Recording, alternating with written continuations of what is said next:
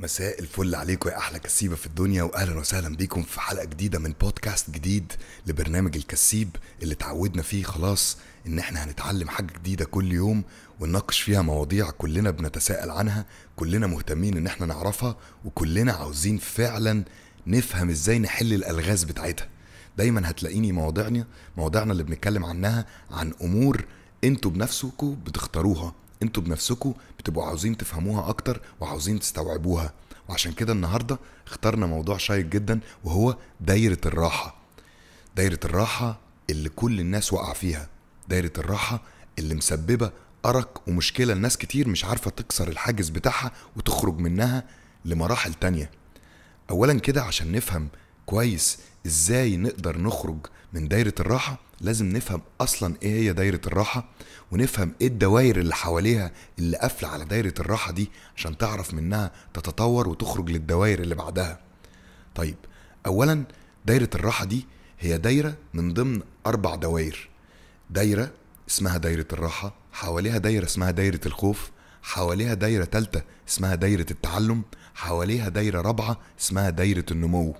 ثم بعدها الانطلاقة. طيب أول حاجة دايرة الراحة. دايرة الراحة دي هي دايرة صعب جدا التعامل معاها. هي دايرة كلنا ومعظم الناس وقع جواها. نتيجة الثقافة اللي انت عايش فيها نتيجة المجتمع اللي انت فيه نتيجة الظروف والعوامل اللي انت عايش فيها نتيجة الأسرة وطريقة التعود بتاعهم على التعامل جوه البيت نتيجة التعليم اللي انت اتعلمته نتيجة أسباب كتير جدا هي دي اللي حطاك جوه دايرة الراحة. دايما بتلاقي نفسك مش عارف تغير اللي انت بتعمله يوميا متعود على حاجات معينة والحاجات دي معظم تصرفاتك فيها هي أمور سلبية ما بتوصلكش في الآخر لأي شيء إيجابي. وهو ده أكبر كارثة إنك مش عارف تتعامل إزاي تخرج من دايرة الراحة دي وتغيرها لدايرة أفضل منها وهي إنك تكسر حاجز الروتين الممل اللي أنت بتقوم بيه يوميا. طيب اولا عشان نفهم كويس إزاي نخرج من دايرة الراحة دي ونخترق دايرة الخوف خلينا نفهم دايرة الخوف بتعمل إيه معاك وأنت في دايرة الراحة. عاملة زي بالظبط كل ما تخرج من سياق دورية معينة حاطينها للخيل تلاقي المدرب ماسك الكرباج وبيعمل كده فتخش جوه الدايرة دي تاني. هي دي دايرة الخوف. كل ما تسأل نفسك سؤال وتقول أنا عايز أروح أنزل الجيم تلاقي دايرة الخوف دي طلعت لك. راحت قايلة لك جيم إيه يا عم؟ هو أنت فيك حل؟ ده أنت بتخلص شغل يا دوبك بترجع تقعد على الكنبة تاكل لك لقمة وتتفرج لك على المسلسل عشان تنام وتصحى تروح الشغل تاني. ارجع يا عم مكانك. تلاقي نفسك رجعت محلك سر. تيجي تفكر تقول أنا عايز ألتزم بصلاتي. أنا عايز أبقى واحد متقرب من ربي. تلاقي مرة واحدة دايرة الخوف دي طلعت لك يا عم صلاة إيه بقى؟ هو أنت فيك حل؟ ده لسه قدامك الزمن طويل لسه العمر طويل قدامك ما تخافش. هتصلي وهتصوم وهتعمل كل حاجة قدام أنت لسه صغير. فتقوم تلاقي نفسك ما بتعملش حاجة خالص ولا بتلتزم بالصلاة. تيجي تخش على المرحلة اللي بعدها تقول أنا نفسي أقرأ وأتعلم حاجات وأستفيد. تلاقي بعد كده دايرة الخوف طلعت لك يا عم تقرأ إيه؟ هو ما استفادوا إيه اللي قروا؟ يا عم كله كلام تنمية بشرية. أنت في الآخر رزقك ومتقسم مش محتاج تعمل حاجة ولا تطور من نفسك. تقوم راجع جوه دايرة الراحة تاني. كل ما هتلاقي نفسك عندك تساؤل إزاي تطور من نفسك وتفيد نفسك وتكتسب حاجة كويسة تلاقي دايرة الخوف طلعت لك بالمخاوف بتاعتك وابتدت تهاجمك بيها. عشان كده هتلاقي نفسك رجعت لورا تاني وبقيت جوه دايرة الراحة. طيب إيه هو السلاح اللي أقدر بيه أعدي من دايرة الخوف ده؟ السلاح ده هو تغيير عاداتك عن طريق سيكولوجية صحيحة. يعني إيه الكلام ده؟ العلم أثبت إن أي إنسان عشان يغير عادة فيه محتاج 21 يوم يستمر عليهم في عمل العادة دي يوم ال 22 مش هيعرف يوقف إنه يعملها. طيب إزاي؟ طيب تلاقي دايما لما تيجي تروح الجيم أول خمس أيام من أصعب خمس أيام. وتاني خمس أيام من أصعب من الخمس أيام اللي قبلهم وفيهم تعب وألم وجسمك كله بيوجعك. تلاقي نفسك عمالي تتعذب وتتألم وتتعب لحد اليوم ال 21 بعد ثلاث أسابيع بالظبط. اليوم ال 22 أنا هو انت أهو جرب التزم وروح وحافظ على تمرينك 21 يوم اليوم ال 22 هتبقى مستني الساعة اللي هيجي فيها وقت التمرين عشان تروحه. هتلاقي نفسك مش قادر تعدي يومك من غير ما تروح تعمل التمرين بتاعك وتخلصه. طيب جرب كده صلي والتزم بصلاتك لمدة 21 يوم. 21 يوم متتالية ما بتسيبش فرض. اليوم ال 22 هتبقى بتظبط الألارم بتاعك على مواعيد الصلاة عشان هتحس بالذنب إنك ما عملتوش لأنك هتبقى اكتسبت عادة إيجابية في خلال 21 يوم. جرب كده امشي على نظام غذائي صح لمدة 21 يوم وما تلخبطش في الأكل. هتلاقي نفسك مش قادر بعد ال 22 يوم تاكل أي حاجة بايظة أو أي حاجة كلها جانك فود أو أكل شوارع أو أكل مش مفيد بالنسبة لك وبطنك ممكن توجعك لو كلته لأنك اتعودت على الأكل الصحي. وهكذا جرب اقرأ في اليوم 20 صفحة من كتاب هتلاقي نفسك اليوم ال 22 مستني تعرف إيه الكتاب اللي بعده اللي أنت هتقراه. وهكذا أول ما هتمشي وتكتسب المعلومات دي وتتبع الطريقة دي هتلاقي نفسك ابتديت تخترق دايرة الخوف وتوصل لدايرة التعلم. هتعرف تعدي بيها من كل اتجاه علشان تعرف تكسر حاجز الخوف والدايرة اللي حوالين دايرة الراحة دي عشان تخش بعدها لدايرة التعلم. طيب لو انت بقيت إنسان ناجح وعرفت تكتسب العادات وتغير من نمطية حياتك وتخرج بره دايرة الراحة وعرفت تخترق دايرة الخوف ووصلت لدايرة التعلم. يا ترى إيه هي دايرة التعلم دي؟ دايرة التعلم دي هي الدايرة اللي فيها هتبتدي تحط كل مقومات إزاي تغني عقلك وتخلي نفسك مصارع قوي تعرف تواجه أمور الدنيا تعرف تطلع للمراحل اللي بعدها وتوريهم قد إيه أنت جامد. ما أنت عشان تبقى جامد لازم تتعلم إزاي تبقى جامد أصلا إزاي تفك ألغاز و... و... ومشاكل وحاجات كتيرة جدا جوه عقلك عشان تعرف تواجه بيها الدنيا. فلازم تفهم يعني إيه ماليات يعني إيه نقاش وجدال ومفاوضات يعني إيه مبيعات يعني إيه تبقى بتتكلم لغات يعني إيه بتحلل أمور يعني إيه صنع القرار؟ تبتدي تطور بقى من نفسك في موضوعات مهمة جدا وتقرأ عنها وتبحث عنها وتقرأ وتشوف فيديوهات. وتسمع مقالات وحاجات كتيرة جدا بحيث إن أنت تاخد كورسات فيها وتضيف لنفسك وتتعلم لغات. عشان مرحلة التعلم دي هي المرحلة اللي أنت بتهيئ فيها نفسك للحرب. ما ينفعش إن أنت تخش الحرب وأنت مش فاهم إزاي تشيل سلاح. فهي دي المرحلة اللي بتعلمك إزاي تشيل سلاح وتجاوب فيها على كل تساؤلات نفسك. أنا إزاي هعرف أطور من نفسي؟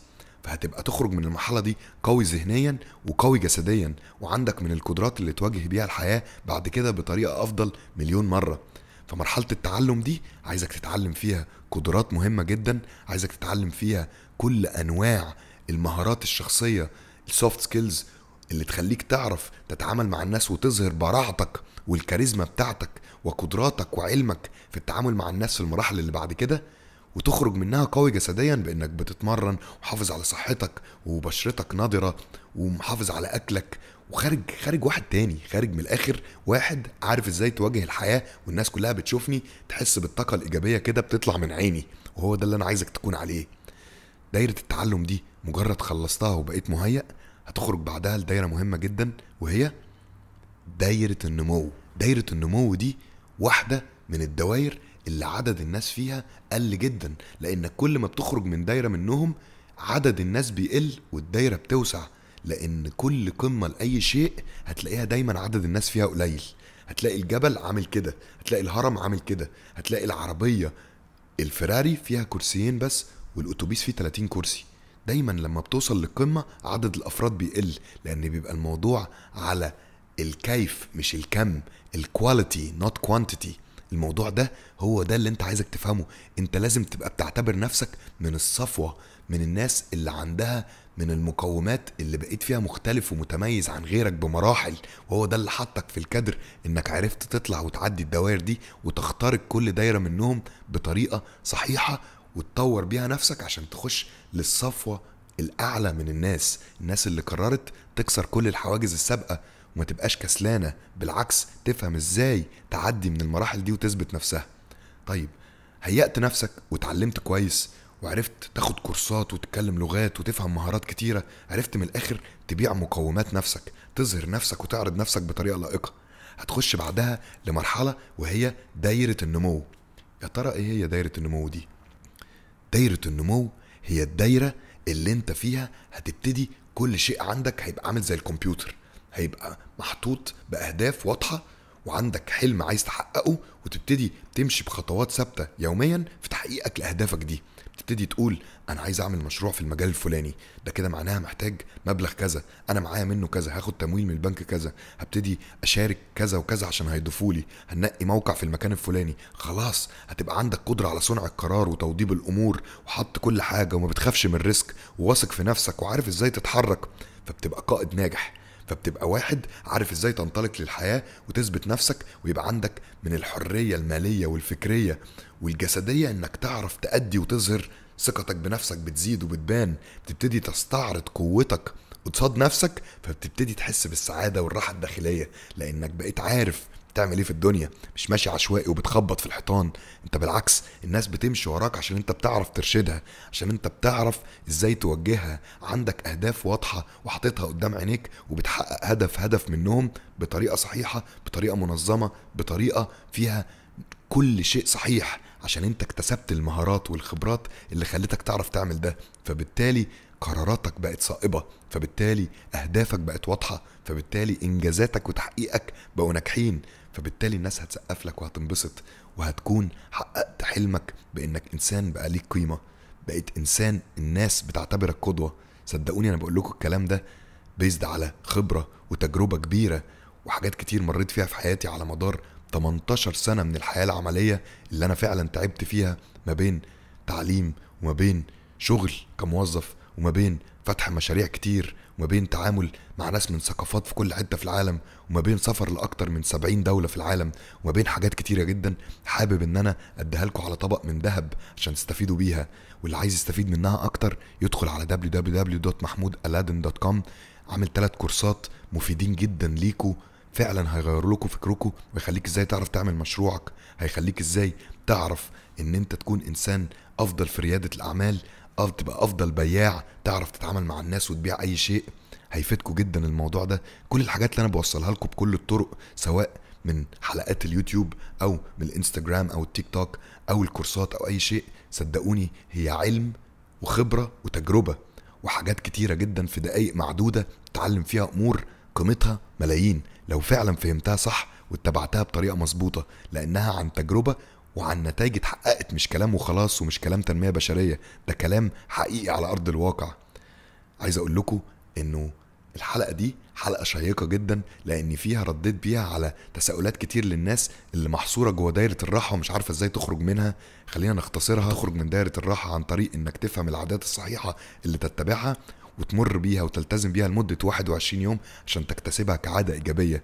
ده اللي هتعرف بيه تكسر حاجز دايرة الخوف اللي حوالين دايرة الراحة. ثم توصل لدايرة التعليم أو التعلم والدايرة دي هتتعلم فيها كل المهارات اللي انت محتاجها واللغات والقدرات اللي هتخليك بعد كده تعرف توصل لمرحلة النمو اللي بيها هتعرف تحط أهداف وتحققها وتحاسب نفسك عليها وتمشي عليها خطوة بخطوة وتكتسب ثقتك في نفسك وتحقيقك لذاتك. وبعدها هتوصل للحرية المالية والحرية الفكرية والحرية الجسدية اللي هتخليك تعرف تستمر وتكمل وتكون مميز. علشان توصل للي غيرك ما وصلوش لازم تعمل اللي غيرك ما عملوش.